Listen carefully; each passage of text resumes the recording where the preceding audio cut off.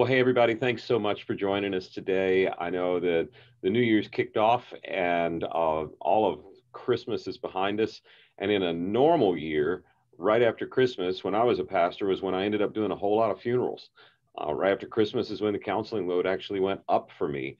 And you would think when the holidays are over, everything's calm, but uh, it, it's not as easy as just lose 10 pounds and balance your checkbook and have a resolution. It, it's a hard time. So I wanted to take some time today and got really lucky and got uh, two friends willing to come on and visit with us about how we deal with the emotional stress of the pandemic and of just general life, particularly even in January. So, joining me today, Dr. John Walker. Uh, Dr. Walker is an amazing, amazing counselor. Uh, he has, uh, I, I, say it this way, John, forgive me if it's wrong, but I, he has the client list no one ever wants made public.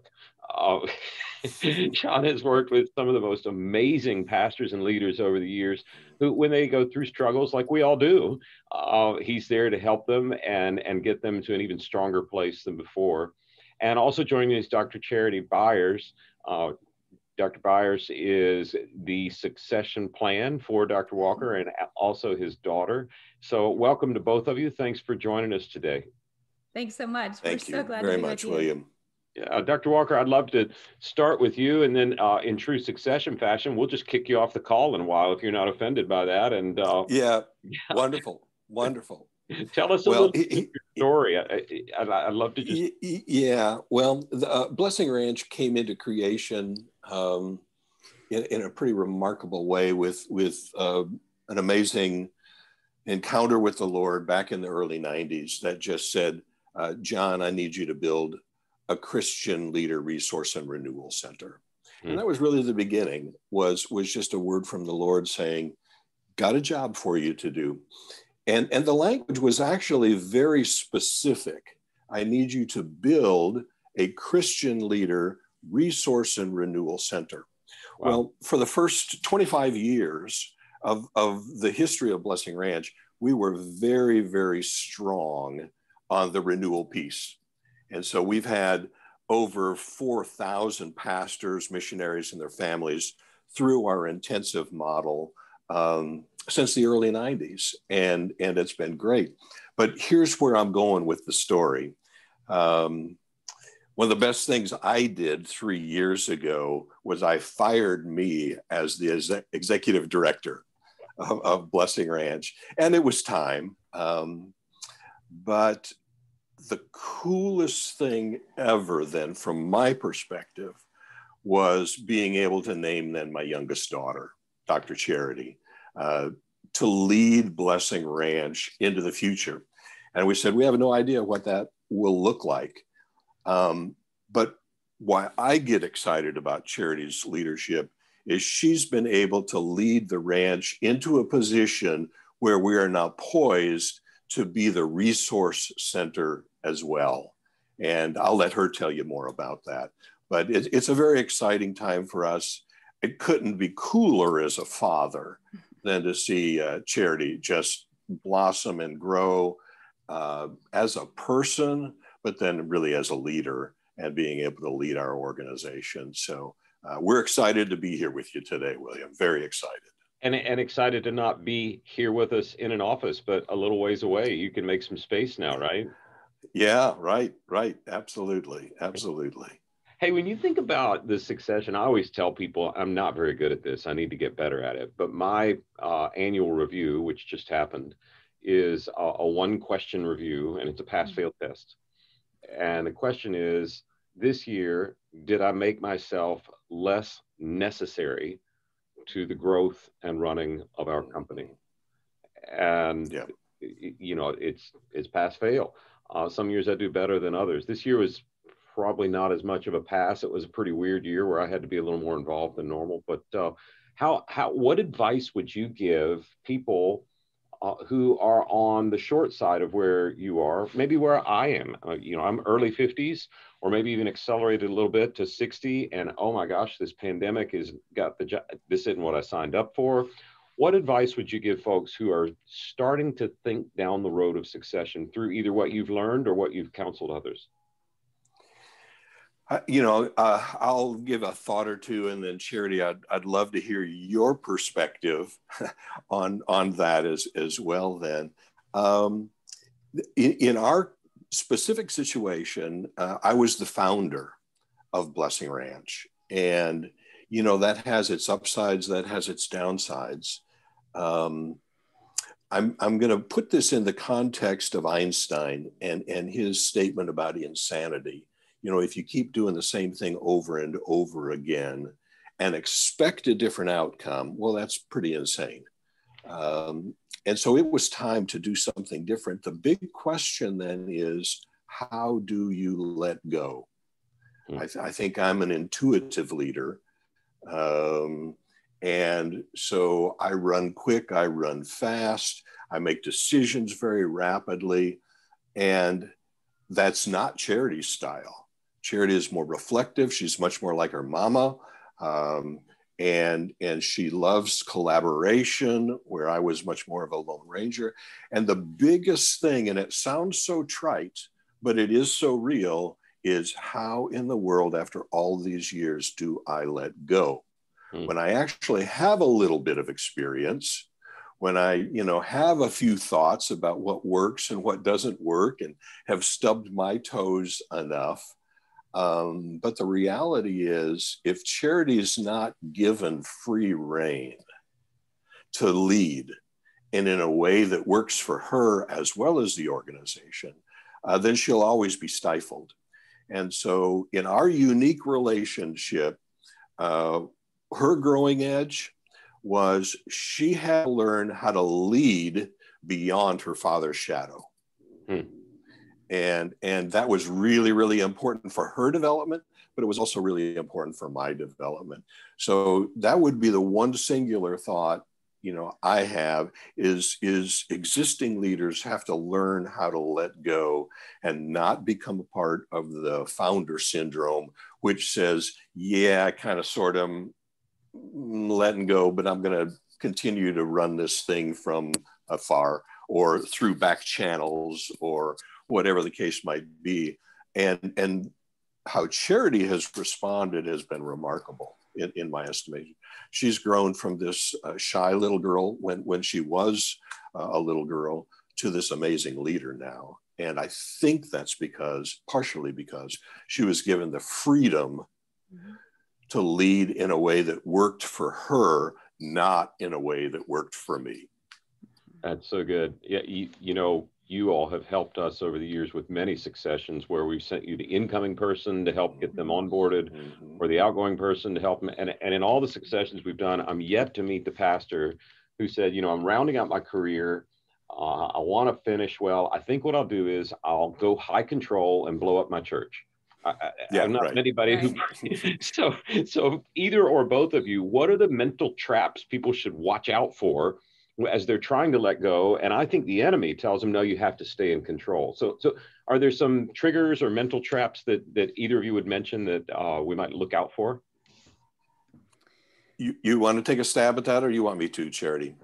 Well i'll, I'll just uh, give one thought here and then maybe you can add another. Uh, th- this may be an obvious thought but i think the biggest thing we're always watching out for is our pride and, you know, again, nobody sets out to say, I'm going to be an egotistical leader that's full of myself. But, um, you know, when it comes to succession, you know, what, what we're having to let go of is everything we've invested in for decades and everything that feels so dear and personal and everything that has represented you know what we hope to to say is a life well lived. And you know when we get to heaven god say well done good and faithful servant. And we're having to let go of all of that and let somebody come in and perhaps do it differently. So it may not always be the arrogant person who um, falls into that trap of pride. It may also just be the average person who just um, you know, in some sense wants to guard and protect everything that has felt so dear to their heart. Um, so I think we just all have to be on the lookout for that trap of pride in our heart and just truly be able to stand upon what has been and let something new be ushered in without it really threatening um, any of what that has meant for our own um, value, our own contribution over the last many years. Hmm. Hmm. And very, very similar, I would just hitchhike onto that and and say um, it's just so easy to think my way is the best way you know and, and therein lies the pride that charity is talking about you know um, and and somehow believe that i'm the only one that has this vested insight into what's best for our organization. And the, and the truth is, and, and actually, I, I, I put this into words with Charity. I think Blessing Ranch has risen as high as it can under my leadership. Hmm. And it's, it's, it's, it's really time to make way for movement. And that's exactly what's happened. And I don't think that movement would have happened under my leadership. Uh, so respect uh, is a great deal uh, of, of, what's involved in going forward, mutual respect versus pride, and the ability in letting go to be able to say um, another major mental trap is to think, I'm the only one that has real insight into this organization. Hmm. And um, if, if, if I step back, it's just going to all crumble. Well, the reality is it might, but it also might ask, actually escalate and go in a whole new direction, which is where Blessing Ranch is poised now. That's great. Well, Dr. Walker, thanks so much for taking time uh, in succession fashion. We're going to get you out of the relay zone and and uh, focus. Outstanding. Excellent. All right. Great to see you, William. Blessing. And uh, I'm sure you'll have a wonderful conversation with Charity. Thanks. Charity is so good to see a succession in real time, and I'm just wondering, you're stepping into this. Tell us a little bit. So, so let's back up just a little bit.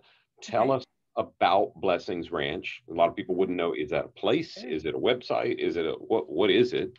Yeah. And and then how long you've been doing what you're doing, and let's springboard into some uh, real time issues that people are facing. Okay. Well, as uh, John mentioned a little bit ago, it's been about a 25 year history for Blessing Ranch, and it began, you know, with that call that God put on his heart. Uh, Blessing Ranch, once upon a time, was much more of a place than it is today. Uh, it began as a large ranch out in northern Colorado, and it was kind of a retreat uh, for Christian leaders where they would come and, and spend a week and receive, you know, intensive counseling as they were with us. And about six years ago, we transitioned the entire ministry from that ranch in Colorado to the Tampa Bay area of Florida.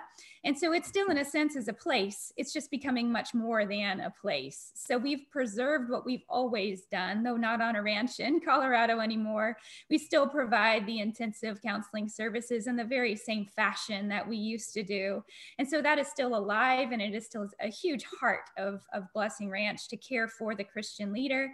Uh, kind of what we say is we want every leader to be living well, leading well, and hopefully finishing well in the end. And so, um, beyond it just being a place, though, as he talked about earlier, uh, the original call of God was to be both a, a, renewal and resource center. And so, over the last few years, we've tried to become more than a place by trying to capture what it is that happens in our small counseling rooms and package it in a way that can be shared much more broadly uh, with the church community. And so, one of the most recent things we've done is publish our first book, which is called Unhindered.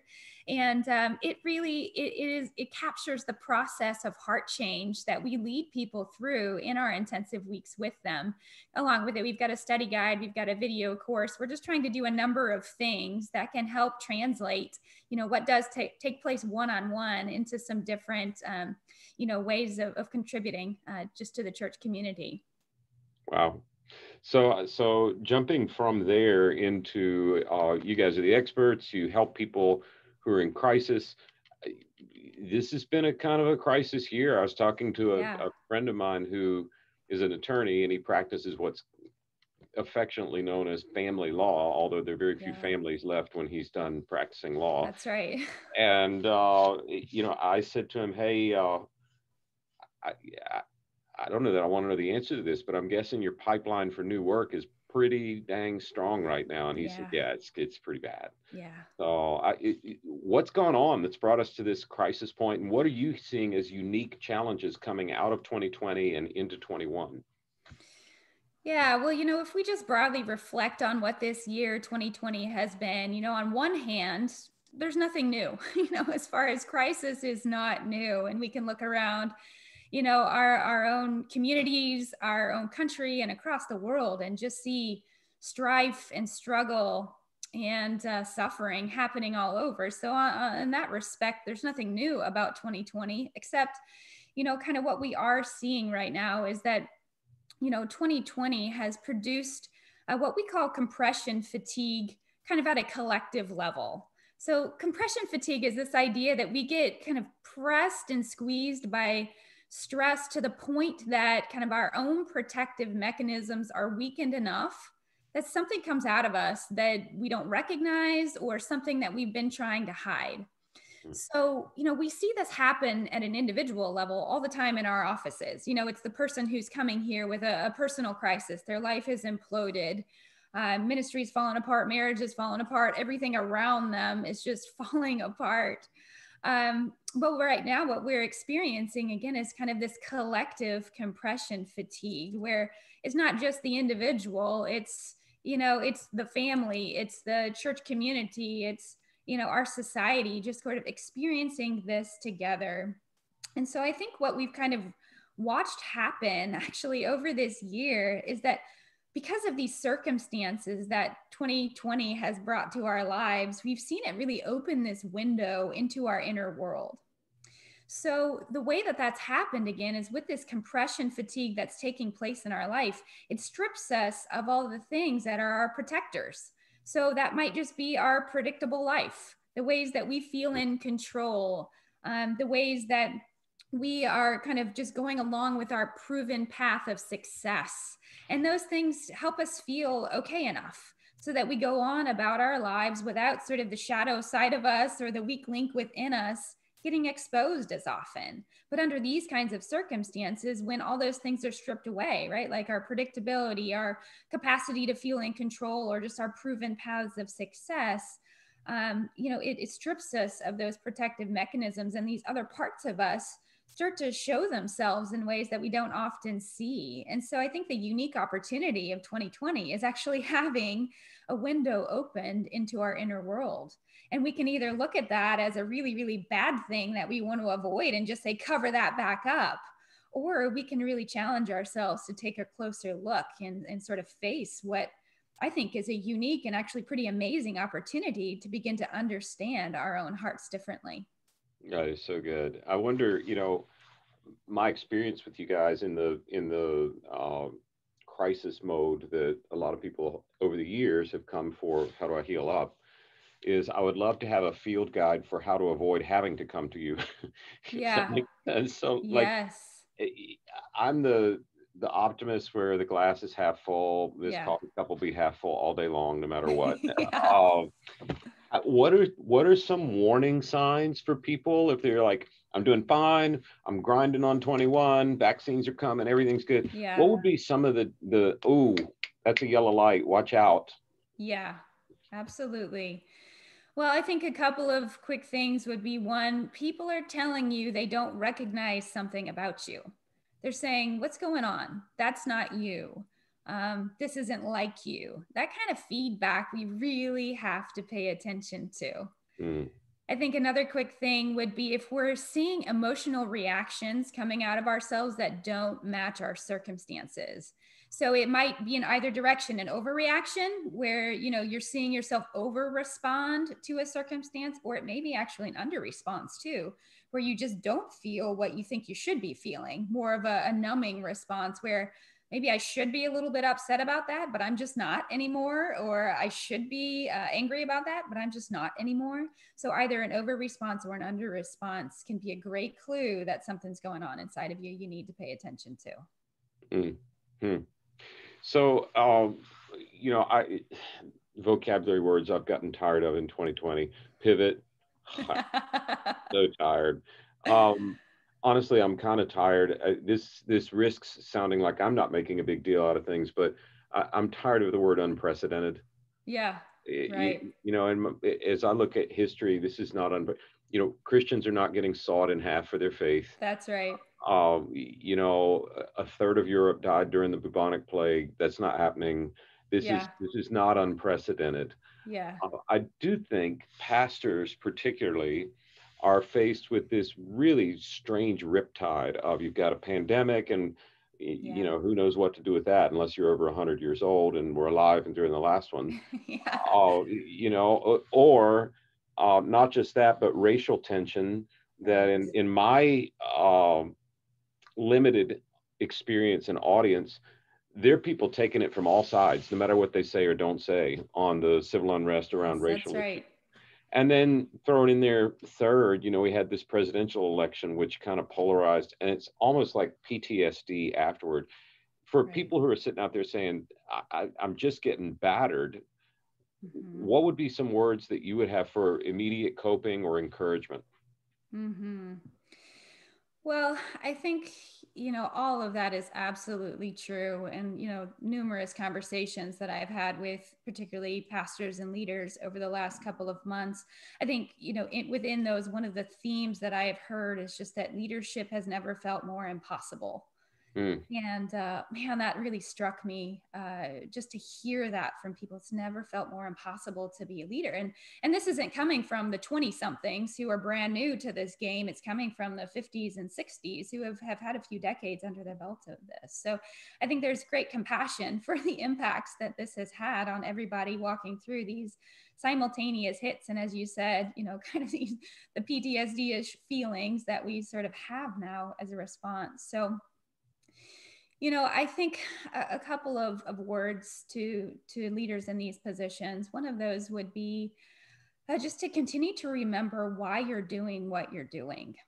And you know that may sound like a simple statement but you know when we start to to look at all of this before us and we envision 2021 and yeah the, the calendar is going to roll over into a new year and maybe there's a vaccine on the way at some point but you know this is not as if it's about to all be better in the coming days here or coming weeks here. So as we look ahead to all of that, we just have to remember what is it that God has asked you to do? And why are you doing it? You know, there's so much to manage. Uh, all of the relational tensions from all of the things that you've named, and, you know, still continuing to figure out the pivot and all of that. Um, but you don't have to be the expert in all of those things. You just have to remember what it is that God has asked you to do. And you can't be the champion of everything out there, though everybody may expect you to be. You have to know what has God asked you to do.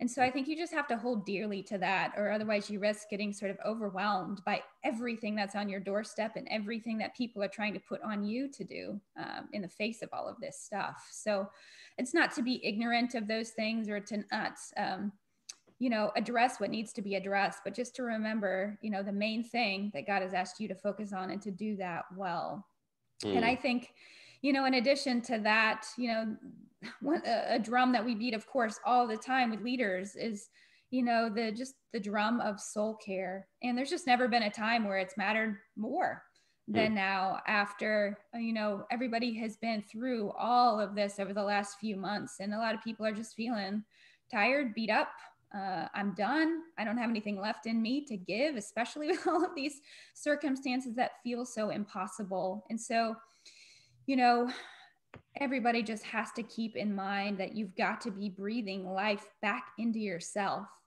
as you go on and as you go through this. And so it, it sounds like um, a simple thing to say. Everybody should know that by now, but the number of leaders who don't do it is pretty alarming. so, you know, it's just a call to come back to some of the basics of just letting your heart have life breathed back into it by God as you try to navigate all that you're doing. Wow. So um, I have made a, a, prediction. It's actually not a prediction. It's just a an observation of what I'm already see happening because people people come to us thinking about making a change in their job before the j- job change ever happens, right? So we kind of get a sure, yeah. We get a preview, right? And I have seen record numbers of people saying it's time to make a change. Maybe yeah. it's me who's they're not retiring, you know, but but things have changed. Maybe they want to mm-hmm. move because they want to be near family. Maybe they're just tired. Yeah. So and I'm also seeing people who are 60 to 62 years old who thought they had five more years left and now they're like ah, i don't know so help me understand how do you delineate between when you're just tired and when it's mm-hmm. actually time to make a change because i think changes happen when there's a shakeup and god has really shaken the tree hard this year and there may be there may be good reasons to seek out a change this year i think 2021 will be the year of massive turnover and I, would love mm-hmm. to have some advice from you about how to know when it's the right time to look for mm-hmm. something new versus mm-hmm. hunker down? Yeah, that's a great question. You know, the first thing that it makes me think about is just trying to really notice the difference between your own internal voices and God's voice. Mm. You know, you you basically need to examine your motivations for wanting to make that change. What is it that's inside of you that's telling you it's time to go? So, you know, what would be the wrong voices to listen to? Well, one would be maybe a voice of inadequacy that just looks at, you know, that the challenge is ahead and says, I don't have what it takes to do this. Clearly, there must be somebody better to do this than me. Well, God may not be saying that to you. It might be your own voice of inadequacy, and you better not be listening to that. Um, so, you know, another voice not to listen to, maybe a voice of fear you know, maybe it looks ahead at all there is and it just says, I don't know how to control that. I don't have the answers. Um, so clearly it must not be me.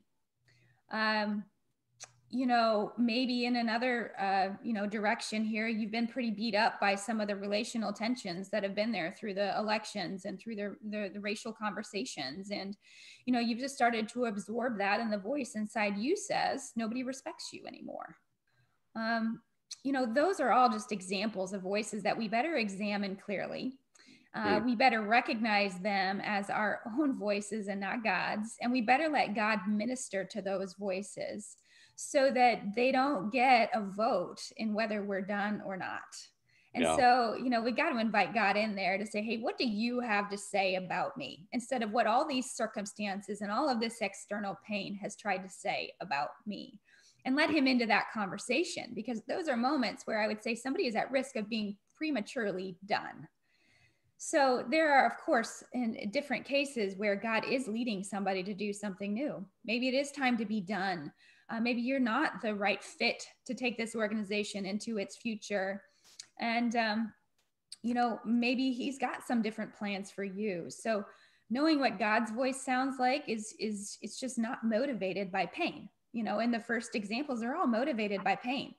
I've been hurt and it's told me this inadequacy, shame, fear, you know, those are all pain filled words. So you know, those are not God. God's voice um, is free of those things. And so I think that's a good cue there to know who's talking. Wow, that is so good. And, you know, it's such a tightrope. I've watched it for years. I've tried to figure it out in my own life. But on the one hand, I like to run marathons. I, there's probably a boatload of counseling involved with unpacking that, but uh, I like doing that. And I'm convinced that the times that I'm about to quit are the times that I, if I'll stick with it, I see a big, big breakthrough, right? Yeah. But the right. shadow, the shadow side of that for me is I hang on to things too long sometimes, and I forget yeah. that you know, Jesus was always getting in trouble with his friends and his disciples for moving from town to town and village to village. So I just, yeah. you know, anything that, that's so helpful to figure out when is it the voice that's God saying, hey, it's one big kingdom, come work in this part. Right. And when is it, I'm just afraid or I'm tired and yeah. yeah. That's right. So, so let me shift gears just a little bit. We're yeah. uh, broadcasting this or dropping it or whatever the right word is. I'm getting old. Um, during the winter time, so I live in Houston where you can still be outside in the winter, but most people can't. And so now they're stuck inside. And they're yeah. probably stuck inside with the same people they were quarantined inside with. Uh, right. on the one hand, God says it's not good that people be left alone. But on the other hand, it's like, yeah. I am so tired of looking at you and you're making me crazy the way you do this, this, and this. Mm-hmm. Do you mm-hmm. have any, any, um, there are no quick tips for counseling, but do you have any pointers for people who are kind of tired of being around the people they've been around and don't want to say it out loud. What what would you say to people that are struggling with the togetherness of this last year or so? Yeah, absolutely. It's great perspective on, you know, just the impacts now if even if you're not quarantined it's too cold for so many right. people to get that space and there's still so many limitations on our lives you know i think um, one of the first things to acknowledge here is that i think we have to just take a take a look at our circumstances and decide whether they're just difficult or whether they're toxic mm. and i mm. think we have to know the difference between those things to guide a little bit of our external response um, you know, if they're toxic, we need to respond a little bit more dramatically than if they're just difficult. If they're just difficult, um, I think it's it's a call for us to just learn how to love people better. How do we become more patient? How do we become less judgmental? How do we, you know, just love the other um, in spite of some of their annoyances and that kind of thing? So I think that's just one quick thing to ask yourself: Is this just difficult, or is this actually toxic? But i think you know one of the, the, the maybe the deeper things that i would call people to do is to um, challenge themselves in these kind of circumstances where we're just struggling with people around us to be become more curious than you are just cautious. Hmm. let me explain what i mean by that. You know cautiousness is this idea of you know i just need to maybe put up boundaries with people. I need to you know, limit uh, my interactions with them because they're just driving me crazy. That's about cautiousness. Um, but curiosity is a very different approach. Now, first of all, let me just acknowledge I'm not saying that cautiousness is bad. Cautiousness is good uh, with people. We do need to have that measure in our life. But I think a much deeper need is to become curious with our own hearts. Become curious about how this is impacting me and why. So, why do I feel what I feel when mm. I'm having a conversation with you? Or why do I respond the way that I respond when you do X, Y, or Z? And I think this is so important, you know, to, to become um, a student of our own hearts because there's so much power that we actually have to manage our own hearts, but we don't realize it. So we begin to think that the only answer here is to manage my circumstances. You know, either change your behavior or limit my exposure to your behavior. But actually, we have a lot of power by managing our own hearts. So I think we got to begin to to ask ourselves these kinds of questions because this type of curiosity will really show you how to guard your heart in a powerful way. It'll show you how your heart can be ministered to.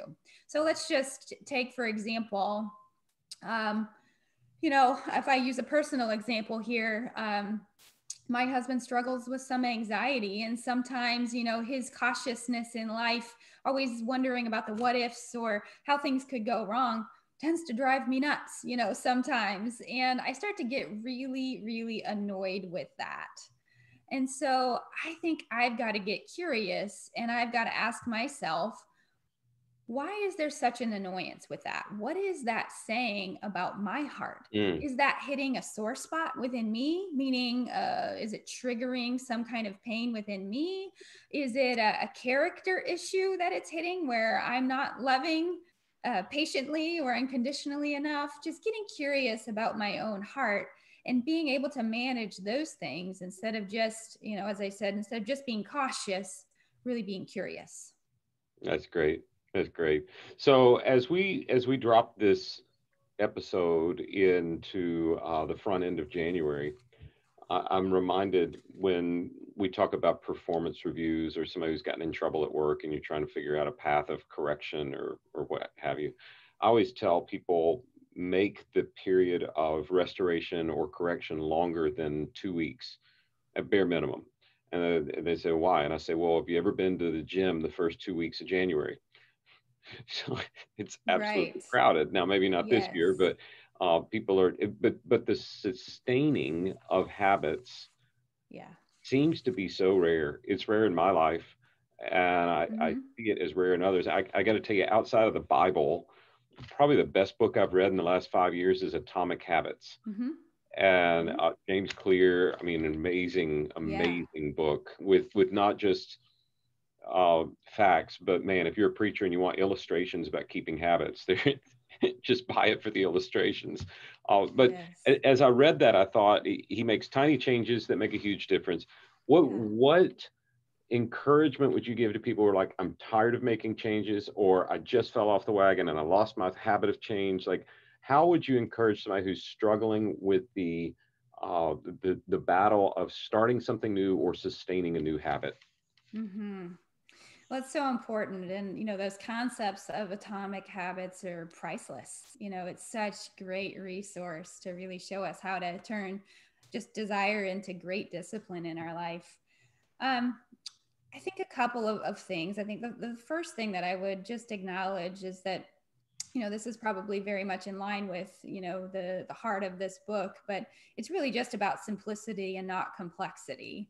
And so that's the whole idea right of you're, you're starting with very small changes that make a big difference. And so it's not just about wanting to add more and do more. It's also about going back to the, the heart of things and going back to the basics in our life. And so i think we have to just really be mindful of that. As we're saying what needs to shift in my life it's not always about new things that need to be added. It's often about coming back to things that have been lost. So that's just one one simple perspective i'd throw out. But i think probably something I'd love to just highlight a little bit more is that, you know, as we're we're thinking about somebody perhaps wanting to follow through with, um, you know, New New Year's resolutions, or they're they're wanting to make a shift in their life, and they're trying to, you know, employ all the great things they learned after reading Atomic Habits. What ends up happening to a lot of us is that we're just not able to win because there's too much competition within us. Mm.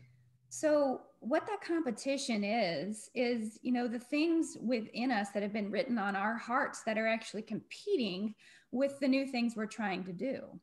And so we often think that willpower is the answer, right? If I just will myself, if I just do it, if I just put it on my calendar, that, you know, that's my answer. And of course, those things are good. We need all of that but there's just often an unaddressed competition that's going on in our hearts that we just don't even know is there and it's often the reason why we find ourselves you know a month or two months down the road just sort of giving up so this internal competition it's it's like the thing within you that self-sabotages you.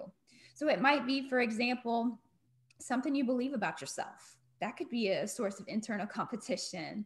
You know maybe it's just this belief that you have that says well, I, I, pretty much fail at everything I do, so I'm bound to fail at this too.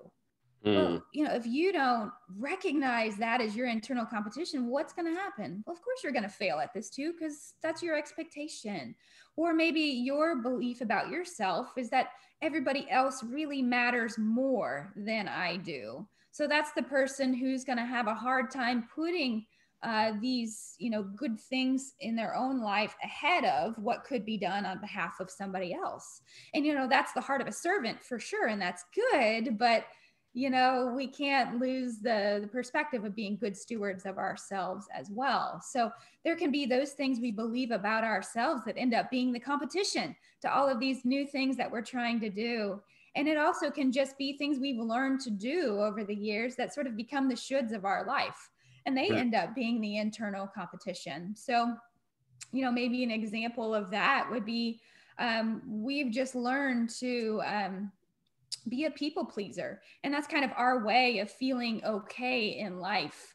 If we just keep everybody around us happy, yeah. well, maybe that's competing with the thing that you're trying to do differently in your life. Or maybe kind of your should in, in a, a different sense is I'm just supposed to beat myself up for everything I do that's just the way I do life. You know, I do something and I just, you know, have to criticize myself and beat myself up. Well, maybe that becomes the competition for whatever it is you're trying to do. So, you know, with all of that said, we've got to recognize that there is internal competition here, often going on with a lot of these shifts we're trying to make in our life. And if we don't address those things, then our, our willpower and our great disciplines that we have just tend to fall short.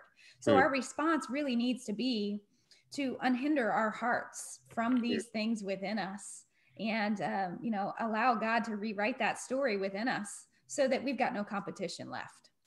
That is so good. Well so many things to take away here and I'll, i'd love for people to know how to get in touch with you or yeah. with blessing ranch. Um, that's not a ranch but we still have a facility, so we, are we're still Blessing Ranch. Yeah. yeah. Oh yeah, no. How can people get in touch with you? Yeah. Yeah, well, you know, one of the best ways to find us would be our website. It's blessingranch.org.